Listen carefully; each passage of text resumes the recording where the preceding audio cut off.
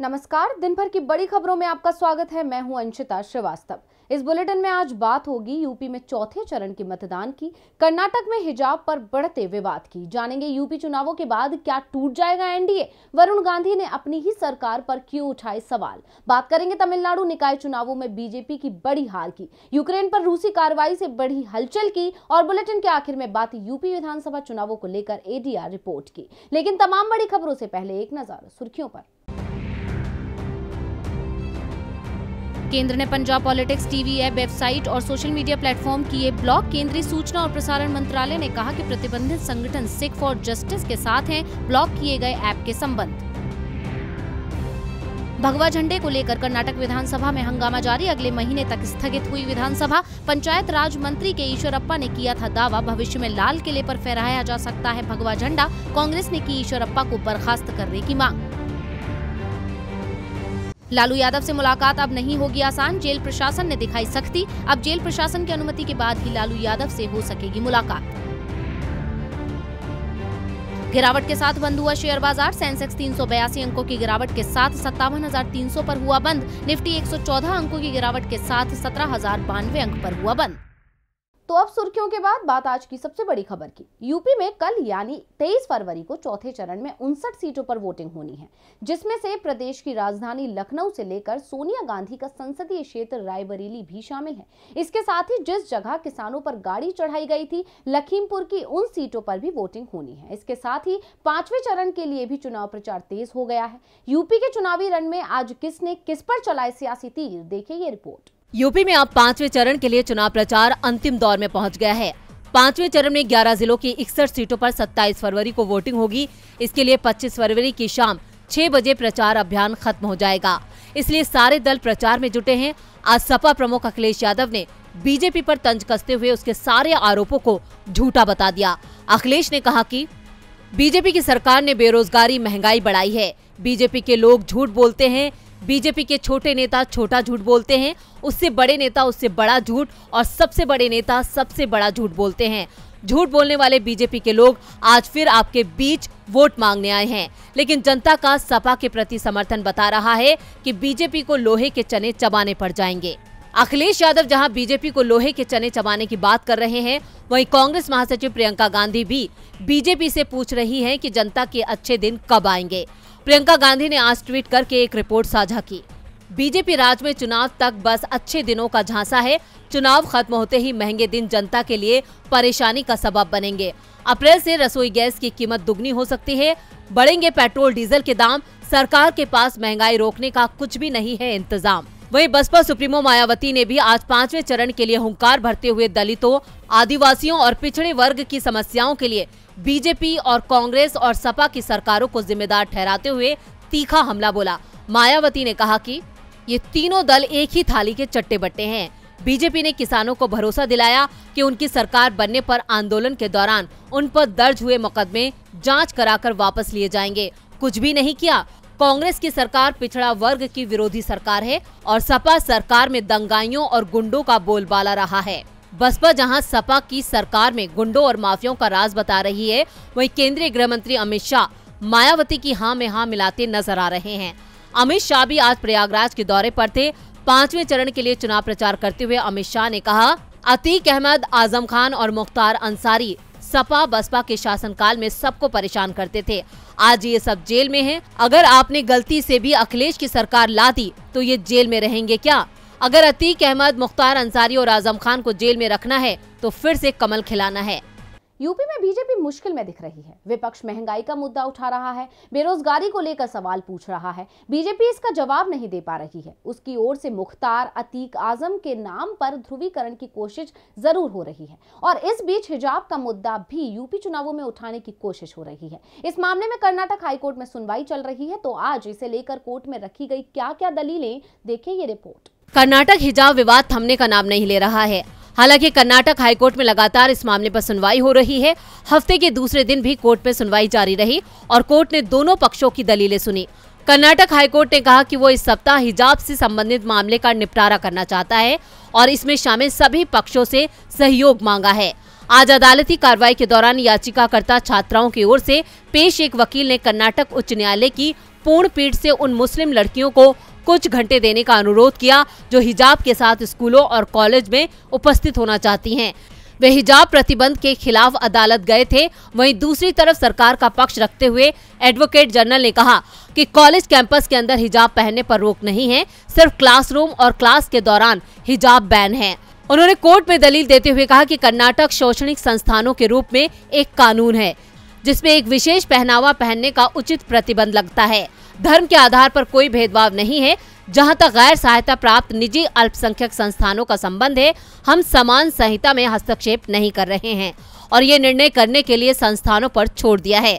वहीं इससे पहले सरकार ने सोमवार को कोर्ट में कहा कि हिजाब मामले में याचिकाकर्ता न सिर्फ़ इसे पहनने की इजाज़त मांग रही है, बल्कि ये घोषणा भी चाहती है कि इसे पहनना इस्लाम को मानने वाले सभी लोगों पर धार्मिक रूप से बाध्यकारी है।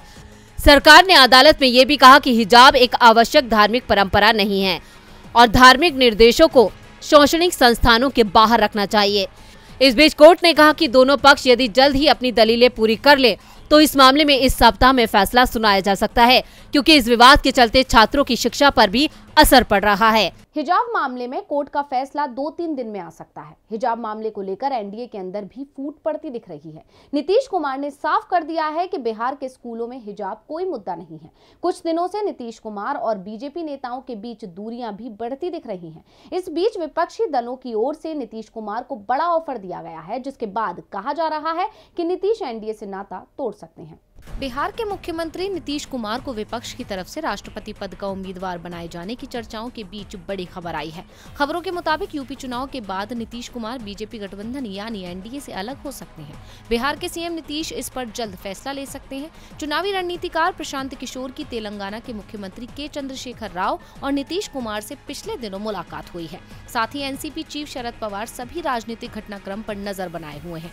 नीतीश के नाम को लेकर सियासी हलचल काफ़ी तेज हो गई है और ऐसे में सवाल भी खड़े हो रहे हैं कि क्या एनडीए की एकता में विपक्ष सेंध लगा चुका है? क्या राष्ट्रपति चुनाव में विपक्ष की मुहिम कामयाब होगी? ये वो सवाल हैं जिनके जवाब 10 मार्च को पाँच राज्यों के चुनावी नतीजे सामने आने के बाद मिलेंगे। अगर चुनावों में बीजेपी को हार मिलती है तो फिर नीतीश कोई बड़ा कदम बीजेपी के खिलाफ उठा सकते हैं। दरअसल नीतीश कुमार को राष्ट्रपति बनाने की बात की शुरुआत तब हुई जब इसी महीने के और प्रशांत किशोर की मुलाकात हुई। तेलंगाना के चुनाव में पीके की टीम इस बार केसीआर की पार्टी टीआरएस के लिए काम करेगी। दो दिनों तक दोनों के बीच चली बैठक में नीतीश को राष्ट्रपति का चुनाव लड़ने पर लंबी चर्चा हुई, जिसके बाद नीतीश और प्रशांत किशोर पटना में डिनर पर मिले। वहीं केसीआर मुंबई में शरद पवार और सीएम उद्धव ठाकरे से भी मुलाकात कर चुके हैं। इससे पहले आरजेडी नेता और बिहार के पूर्व उप मुख्यमंत्री तेजस्वी यादव ने भी केसीआर से मुलाकात की थी। बिहार में नीतीश की पार्टी जेडीयू और बीजेपी के गठबंधन वाली सरकार है और नीतीश कुमार बिहार के मुख्यमंत्री, लेकिन जातिगत जनगणना को लेकर जेडीयू और बीजेपी में तनातनी जारी है। आरजेडी इस मुद्दे आरोप नीतीश के साथ है। विपक्ष की रणनीति ये है कि बीजेपी के खिलाफ ऐसा मज़बूत उम्मीदवार दिया जाए कि कांग्रेस भी उसी को समर्थन देने को मजबूर हो जाए। अब नीतीश को राष्ट्रपति बनाने के लिए पूरे विपक्ष को एकजुट होना पड़ेगा, जिसके लिए केसीआर और प्रशांत किशोर बड़ी भूमिका निभा सकते हैं। नीतीश कुमार के तेवरों से बीजेपी की परेशानी बढ़ती दिख रही है तो बीजेपी के अपने ही सांसद ने उनकी चिंता बढ़ा दी है। यूपी विधानसभा चुनावों में कल यानी तेईस फरवरी को पीलीभीत में वोटिंग होनी है, लेकिन पीलीभीत से बीजेपी सांसद वरुण गांधी ने बीजेपी के पक्ष में प्रचार कर करने से मना कर दिया। उल्टा उनके बयान बीजेपी की मुश्किलें बढ़ाते दिख रहे हैं। वोटिंग से पहले एक बार फिर वरुण ने अपनी ही पार्टी पर हमला बोल दिया है। अपनी ही सरकार पर आरोप और सवाल खड़े करने को लेकर अक्सर चर्चा में रहने वाले पीलीभीत से बीजेपी के सांसद वरुण गांधी एक बार और चर्चा का केंद्र बने हुए हैं। वरुण गांधी कभी किसानों का मुद्दा तो कभी महँगाई का मुद्दा, कभी बेरोजगारी का मुद्दा तो कभी कोरोना जैसे मुद्दों पर अपनी ही सरकार यानी बीजेपी को आड़े हाथों लेते आए हैं। आज फिर वरुण गांधी ने बैंकों और रेलवे के निजीकरण का मुद्दा उठाते हुए बीजेपी सरकार पर हमला बोला। वरुण गांधी ने कहा कि केवल बैंक और रेलवे का निजीकरण ही पाँच लाख कर्मचारियों को जबरन बेरोजगार कर देगा। समाप्त होती हर नौकरी के साथ ही समाप्त हो जाती है लाखों परिवारों की उम्मीदें। सामाजिक स्तर पर आर्थिक असमानता पैदा कर एक लोक कल्याणकारी सरकार पूंजीवाद को बढ़ावा कभी नहीं दे सकती। वरुण गांधी पहले भी मोदी सरकार की विभिन्न क्षेत्रों में निजीकरण की नीति का विरोध करते रहे हैं। सांसद का मानना है कि इसकी वजह से ही रोज़गार के अवसर कम होते जा रहे हैं। अब उन्होंने बैंकों के प्रस्तावित निजीकरण का ये कहते हुए विरोध किया है कि जो कार्य सरकारी बैंक करते हैं, वो शायद निजी बैंक ना कर सकें। वहीं कांग्रेस लगातार मोदी सरकार की निजीकरण की नीति पर लगातार सवाल खड़े करती आई है। कांग्रेस सांसद राहुल गांधी ने यह आरोप लगाते हुए कहा था कि केंद्र सरकार लाभ का निजीकरण और नुकसान का राष्ट्रीयकरण कर रही है। सरकारी बैंक मोदी मित्रों को बेचना भारत की वित्तीय सुरक्षा के साथ खिलवाड़ है। मैं हड़ताल कर रहे बैंक कर्मचारियों के साथ हूँ। अब वरुण गांधी ने निजीकरण पर सरकार को घेरा है। देखना है कि बीजेपी इस पर क्या कहती है। सरकार नौकरियाँ तो दे नहीं रही, उल्टा जो संस्थान नौकरियाँ उपलब्ध कराते हैं, उन्हें ही निजी क्षेत्रों को बेचा जा रहा है। यानी भविष्य में भी सरकार नौकरी नहीं देगी। बीजेपी नेता का दावा है कि जनता इसका जवाब देगी। 10 मार्च को यह पता चल जाएगा कि यूपी की जनता का फैसला क्या है। लेकिन इससे पहले आज तमिलनाडु की जनता का फैसला ज़रूर सामने आ गया। आज तमिलनाडु में स्थानीय निकाय चुनावों की काउंटिंग हुई तो किसे मिली जीत और किसके हिस्से आई हार देखे ये रिपोर्ट। तमिलनाडु में स्थानीय निकाय चुनावों में बीजेपी का सुपड़ा साफ़ हो गया है। राज्य के सत्ताधारी डीएमके कांग्रेस गठबंधन ने अपने सहयोगियों के साथ 70 प्रतिशत ऐसी ज़्यादा वार्डो में जीत हासिल कर ली है। सभी 21 नगर निगमों में डीएमके कांग्रेस गठबंधन का कब्जा हो गया है। इसके अलावा 138 नगर पालिकाओं और 490 नगर पंचायतों में से अधिकांश पर इसी गठबंधन ने जीत हासिल की है।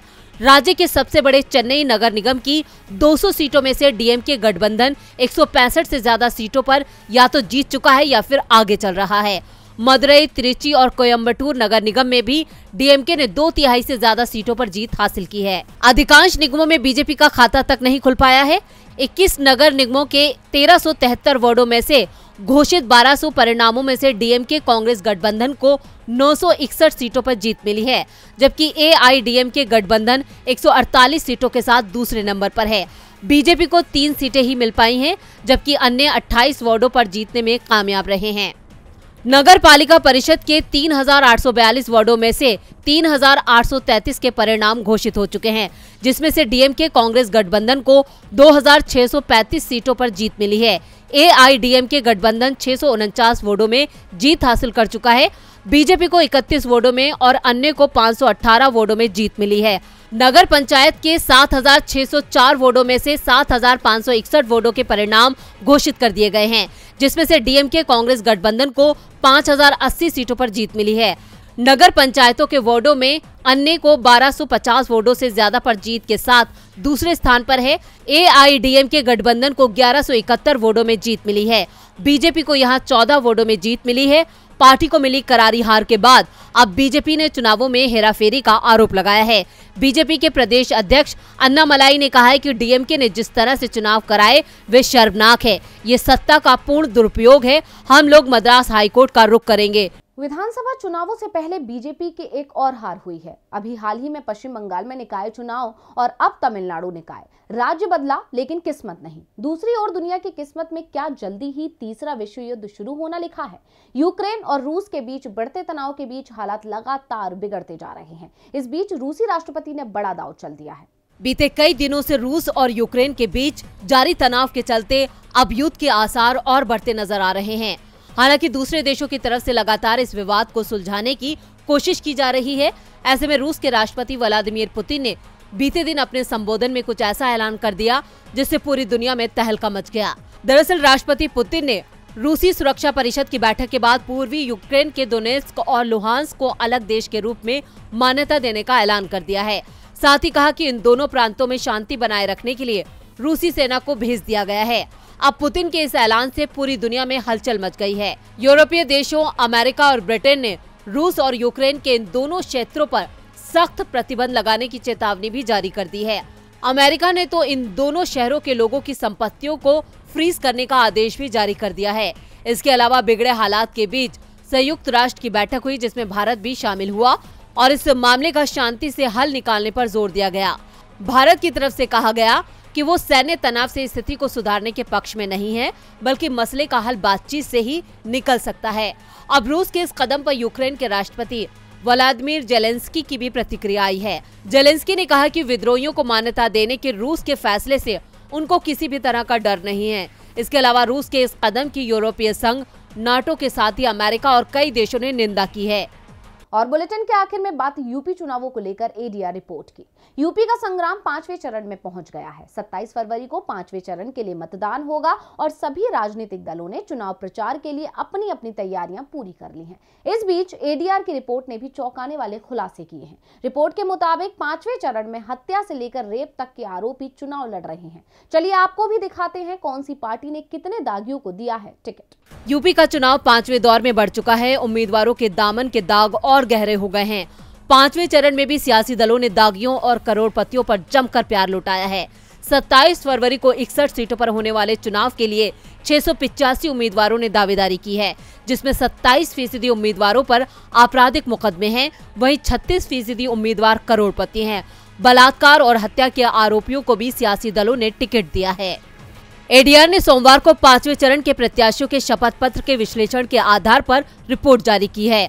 पाँचवें चरण में एक उम्मीदवारों ने अपने ऊपर आपराधिक मुकदमे घोषित किए हैं, जिसमें 141 के खिलाफ गंभीर अपराधों के आरोप हैं। समाजवादी पार्टी से लेकर बीजेपी ने दागी और करोड़पति उम्मीदवारों को टिकट बांटा है पाँचवें चरण में 12 उम्मीदवारों के ऊपर महिलाओं पर अत्याचार से जुड़े मुकदमे दर्ज हैं, जिनमें सुल्तानपुर से सपा के उम्मीदवार अनूप सांडा पर बलात्कार का मुकदमा दर्ज है आठ उम्मीदवारों के ऊपर हत्या का आरोप है कुंडा से उम्मीदवार गुलशन यादव, गोसाईगंज से अभय सिंह, चायल से पूजा पाल, रुंधोली से आनंद सेन और तिलोई से उम्मीदवार मोहम्मद नईम पर हत्या के आरोप हैं। इकतीस उम्मीदवारों के ऊपर हत्या की कोशिश के आरोप हैं। सपा के उनचास फ़ीसदी, बीजेपी के बयालीस फ़ीसदी, बीएसपी और कांग्रेस के 28-28 फ़ीसदी उम्मीदवारों पर गंभीर अपराध के आरोप हैं। आपके 14 फ़ीसदी और अपना दल सोनेवाल के उनतीस फ़ीसदी उम्मीदवारों पर गंभीर अपराधों के मुकदमे दर्ज हैं। बीजेपी ने सबसे ज़्यादा करोड़पतियों को टिकट दिया है तो उसकी सहयोगी अपना दल भी उसी राह पर है। उसके साथ में से छह उम्मीदवार करोड़पति हैं, इनकी औसत संपत्ति 11 करोड़ से अधिक है। पढ़ाई लिखाई की बात करें तो इस चरण में उनसठ फ़ीसदी उम्मीदवारों ने खुद को स्नातक बताया है। चौतीस फ़ीसदी उम्मीदवार पांचवी से बारहवीं तक पढ़े हुए हैं महिलाओं की भागीदारी इस चरण में और कम हो गई है महज तेरह फ़ीसदी महिलाएँ चुनाव में दावेदारी कर रही हैं। तिलोई से बीजेपी उम्मीदवार मयंकेश्वर शरण पी अट्ठावन करोड़ संपत्ति के साथ पहले पायदान पर हैं। कुंडा से बीजेपी के प्रत्याशी सिंधुजा मिश्रा बावन करोड़ की दौलत के साथ दूसरे पायदान पर हैं। अमेठी से बीजेपी के उम्मीदवार संजय सिंह 50 करोड़ की दौलत के साथ तीसरे स्थान पर हैं। बीएसपी के यशभद्र सिंह इसोली से मैदान में हैं, जिन पर 26 गंभीर धाराओं में 21 मुकदमे दर्ज हैं। सपा के संदीप यादव इलाहाबाद उत्तर प्रदेश से चुनाव लड़ रहे हैं जिन पर 24 गंभीर धाराओं के तहत 35 मुकदमे दर्ज हैं।